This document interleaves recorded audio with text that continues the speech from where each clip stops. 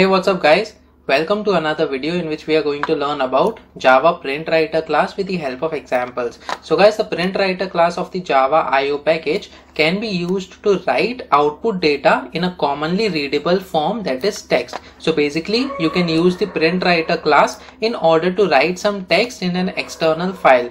Now let us check the working of a print writer. So unlike other writers, print writer converts the primitive data that is integer, float, characters, etc. into the text format. So whatever integers or float values you have or the array of characters that you want to store in a external file, you can convert them into a text format which is done by the print writer class and then after converting it writes that formatted data to the writer. Now guys we will check some of the important methods of the print writer. The very first method is print which prints the specified data to the writer. The next one is the print ln which prints the data to the writer along with a new line character at the end. So in case you want the next statement to be present on the new line so you can use the println statement. We can also use the printf method which will be used to print the formatted string. So guys let us check this with the help of examples now in the eclipse ide so over here we will first create the object for a print writer class. So as you can see print writer is being suggested by eclipse ide over here.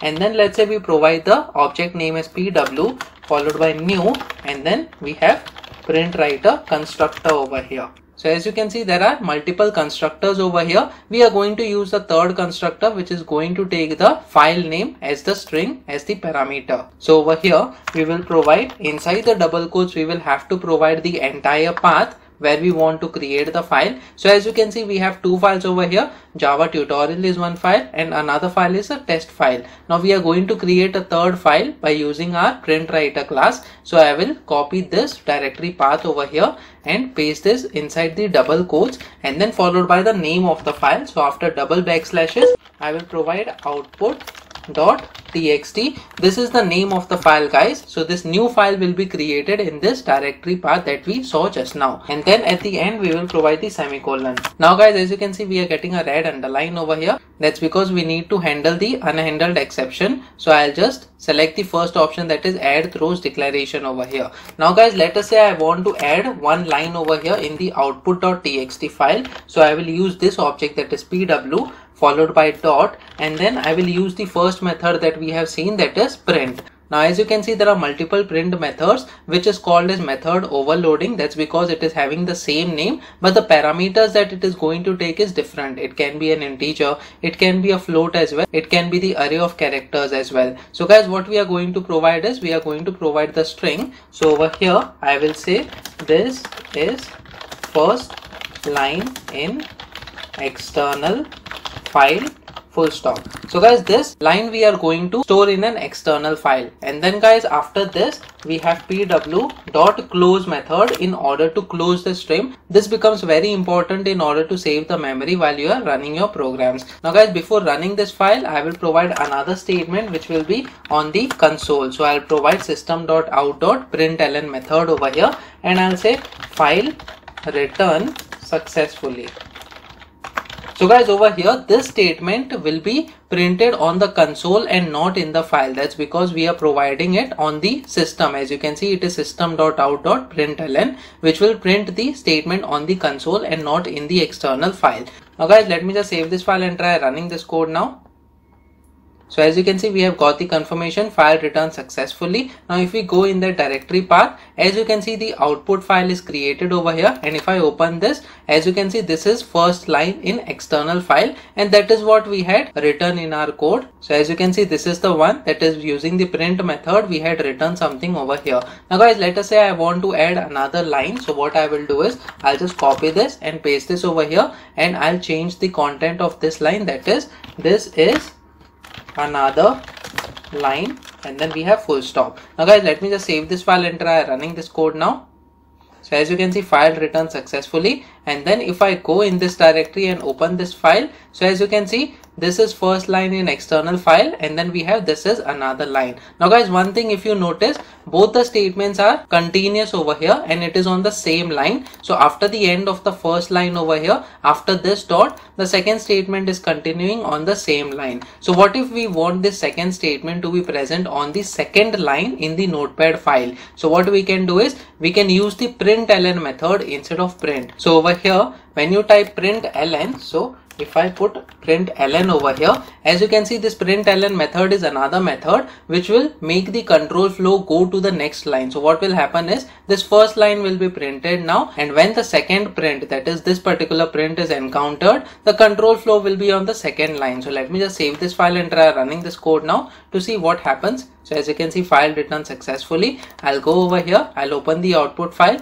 As you can see now the second statement is on the second line. That is this is first line in external file. After this the control flow goes to the second line. That's because we have used print ln for this statement to be printed in our notepad file that is the external file. And the second print method is making this statement that is the second method to be printed on the second line. So guys in this way we can either use print or println method in order to print the statements. Now guys i'll make this method as well as println because we are going to use another method that is printf in order to print a formatted string so guys when this printf will be used so basically let's say if i use this object name that is pw followed by dot and then we have something called as printf so as you can see there are two printf methods over here. We are going to use the first method that is going to take the first parameter as a string and second parameter as the one of the arguments that we are going to provide to the string.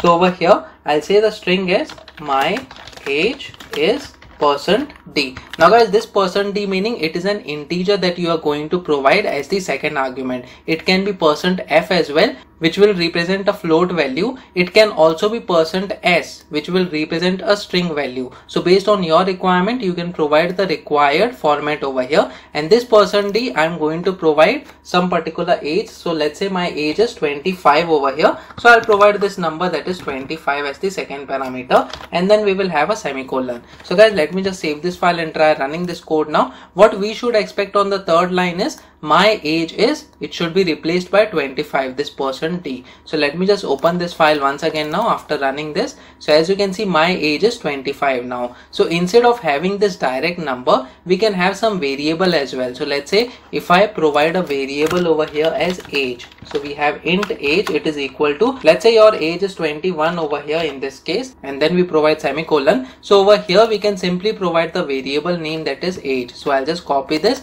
and paste this over here instead of 25 so your age will be displayed. So basically what we are doing is i will print my age is and then this percent d the value will be taken from this parameter that is age which is right now 21 so let me just save this file and try running this code now so we have file returned successfully. That is the confirmation message. And then we will go to the output file. As you can see my age is 21 so 21 is getting printed. So guys this variable can be anything. It can be a user input as well or it can be a value that is coming from another function as well. So it depends on your requirement what you want to have the value as. So the main important thing over here is using the printf you can have the formatted string being printed and stored in an external file or any other output so guys these were some of the functionalities of the print writer class. Apart from this you can have many other methods as you can see while you provide the object name followed by dot. As you can see there are multiple other methods that can be used based on your requirements. So guys practice on your own. Use different methods and see how the output looks like. So guys that's it in this video. Please make sure that you like this video so that it reaches to more people. And subscribe to this channel so that you get the notifications on upcoming videos as well. The next video that we are going to talk about is java scanner class with the help of examples and we are going to see how we can read a user input from console